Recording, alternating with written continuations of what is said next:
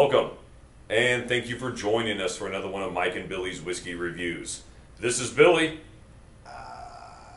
and I'm Mike, and today we bring you Town Batch Bourbon. Branch. Town Branch, forgive me, bourbon.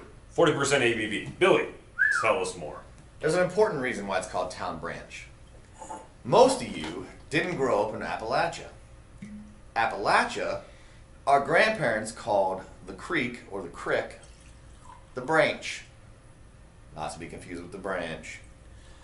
Because there's accents involved. So, that means a waterway, probably a small one. It dried up, the one that we're spe- specifically talking about dried up years ago. Town Branch? However, yes. However, some snarky fellow who probably listens to NPR and drives a Volkswagen found out this history and said, Hey, Mike, I found out about this town branch that runs through Lexington a 100 years ago or 200 years ago. Let's open a distillery. I'm going to be honest with you. I picked this for a reason.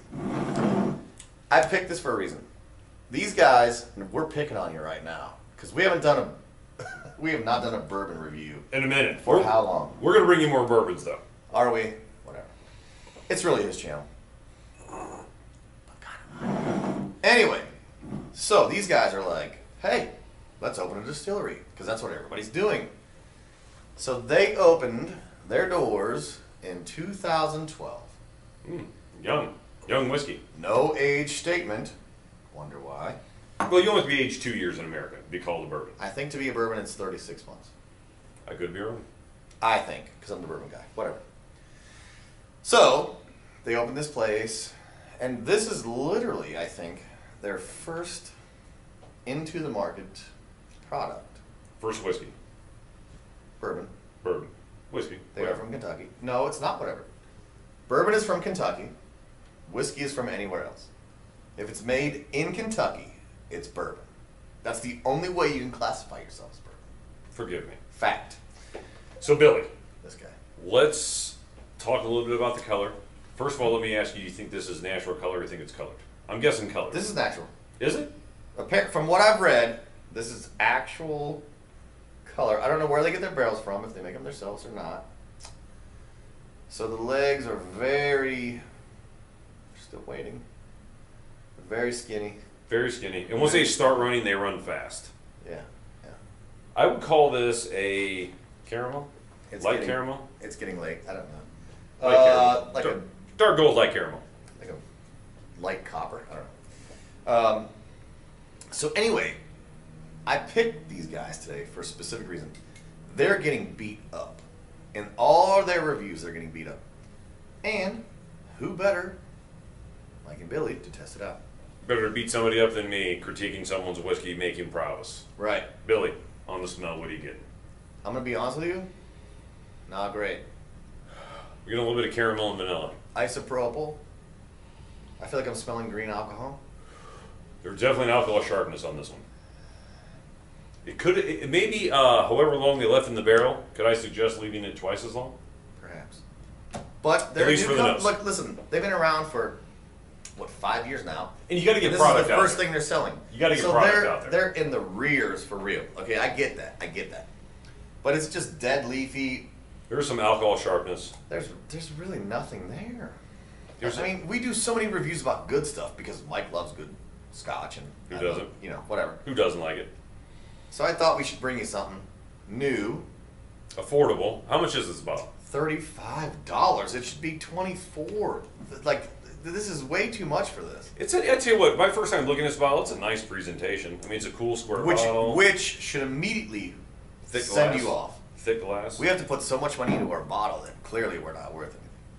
Not always, but in this case, yes. It's kind of. I'm going right in. Okay, as you go in, I'll You know what? Why don't you go in? No, you go in and I'll tell them what I think I'm picking up on this. Okay. I do get the alcohol sharpness. However, I do get a nice bourbony sweetness that I get with a lot of bourbons, and I'm getting vanilla, a little bit of honey, and some caramel. Unrefined. Like before you started making the caramel, like when they dig it out of the bucket at the fair, that kind of caramel. Like it's caramel eventually. Again, what I'm saying is this should have just been aged longer. That's my main takeaway from it. Yeah. All right, let me sip while you tell me what you think on the So palate. this is what forty something, forty percent. Mhm. It feels like it's watered down already. Um, I get such a charcoaly, you know, sixteen dollars Jim Beam.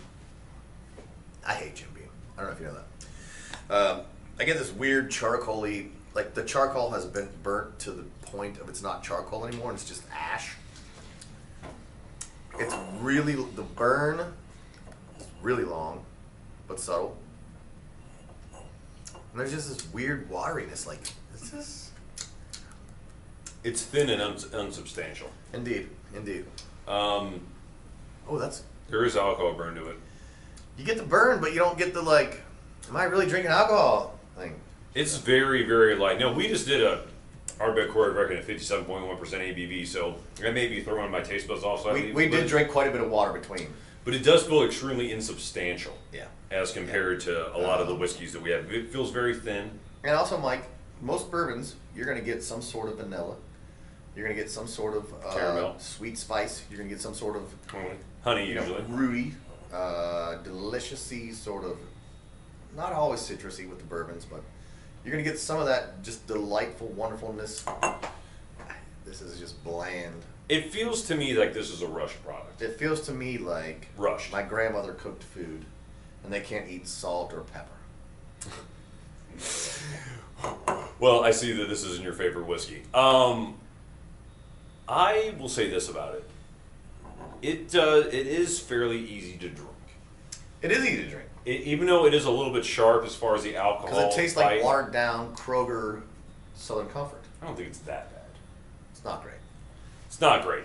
Um, I would say this is more of a whiskey that you would go to in a social situation, maybe a mixer, something along those lines. Going to a football Did game. Mike just date his Go to a football game. mixer? Go to see the Buckeyes. Have you been to a You mixer want, you want to throw you want to throw a little bit of uh, whiskey into your Coke bottle as you walk into the stadium or something like that. Perhaps something along those lines. Let me ask you: Did the water change anything on the smell? I mean, honestly, it, it made it. Thinner? I just said this in the exact same last video. It it sort of softened it. There's not much of an alcohol sting to it. No, but when you put it in your mouth, that's what she said. There is. All right, so I'm going in for my second drink. Please do. So again, new guys on the block. They're getting beat up on every review you read, which I'm sure if you watch our video and you're that much of a nerd for alcohol, which we are, or that big of an alcoholic, which we are, you're going to rev- obviously get online and see what there's people saying. Would I buy this again for thirty-five dollars? No, no. But I appreciate what they're doing. They're the new kids on the block. I remember. I'm a gun guy. I don't know what's going on in the rest of the world. We're from Ohio. Guns are cool.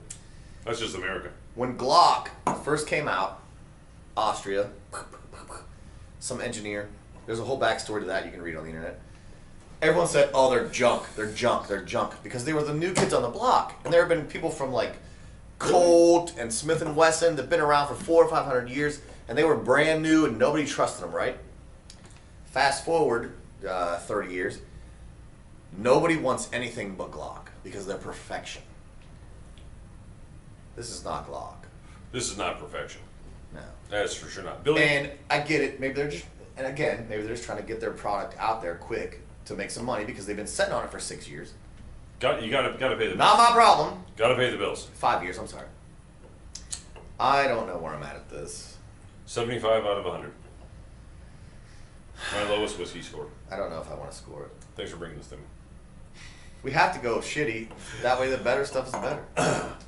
So I don't even want to give it a score. Yeah, this is not something you would want to seek out at a bar, but we're, I'm glad we had a, a little chance to at least try it out to see what we thought because it does come in a nice bottle and the packaging and marketing behind it was decent.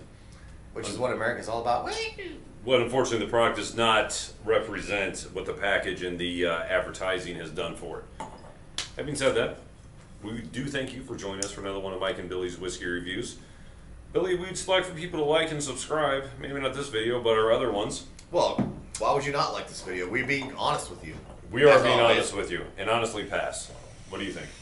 Pass.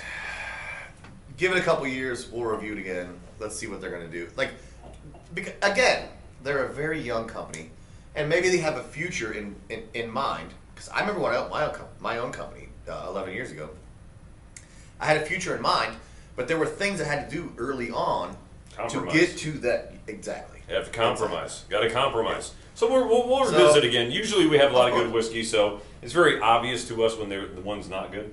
Right. I think that's where we're both at, Billy. Yes. Yes. We want to thank you once again for joining us for another one of Mike and Billy's whiskey reviews, and as always, happy drinking.